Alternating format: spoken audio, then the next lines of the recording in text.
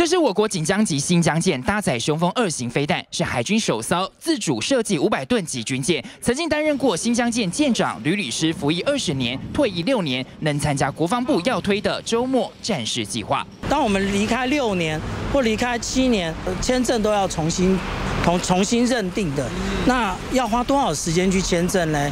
坦言退役后再回到部队，专业知识得从头来，恐怕难以解决当下兵源不足的困境。国防部规划周末战士锁定退伍八年内拥有高战力、高专长与高技术后备军人。海军舰长或陆战队员符合资格，陆军则是像战车驾驶或懂得机密武器操作，空军周末战士则例如战机驾驶或地形维修等专业人才。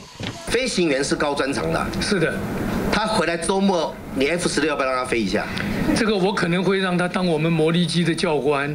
周末战士能否成功，诱因是关键。国防部规划，参与人员每月回到原部队二到四次，美军周末战士给双倍日薪。国防部规划，以当初退伍职级月薪除以每个月二十二个工作天，就是日薪。例如上位周末战士日薪约两千五百五十元，是在职时日薪一点四五倍。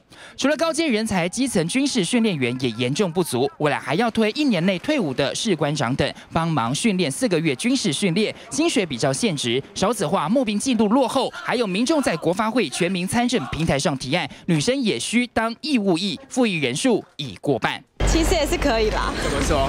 就练一下体能之类的。以现在的状况，女性并没有必要去当兵。女生当兵正反两极意见，但兵力短缺，募兵制一再跳票。国防部明年编一千八百万预算，招募四百位周末战士，但薪水诱因与民众能否有时间配合，再在考验执政成败。九黄明轩、贾远台北报道。